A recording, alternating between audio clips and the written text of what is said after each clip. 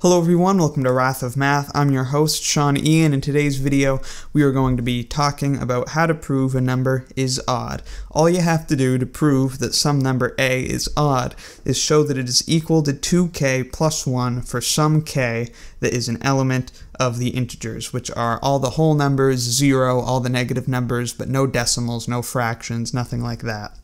So, here's a quick example. We know that 7 is an odd, also happens to be prime, one of my favorite odd numbers. How do we know that 7 is odd? Well, we can show that it is equal to 2 times 3, which is 6 naturally, plus 1 is 7. So because 7 is equal to 2 times some integer 3, we can say that 3 is an element of the integers, because 7 is equal to 2 times some integer plus 1, we know that 7 is odd. You can also do this with variables, polynomials, that sort of thing. Let's look at an example of that. Let's say we have 8x squared plus 6x plus 7.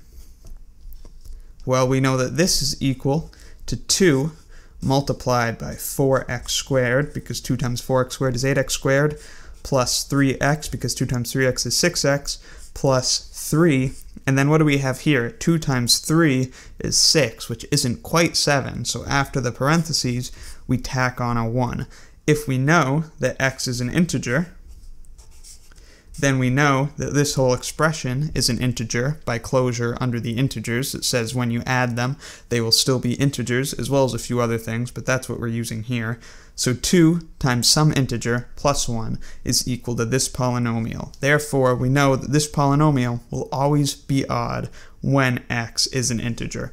So that is how you can prove that an odd number is indeed odd. That should put to rest the uh, zero even or odd debate that some people some uh, people still have. I did a video on that. You can check that out if you're so compelled. I hope this video helped. I hope uh, it was clear. Let me know what you thought in the comments. If you need anything clarified, if you have any other questions, be sure to subscribe for the swankiest math videos on the internet, and I will see you next time.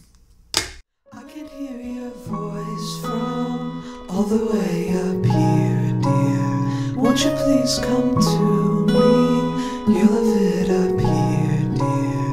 There's a light where I float that erases all black. It makes everything.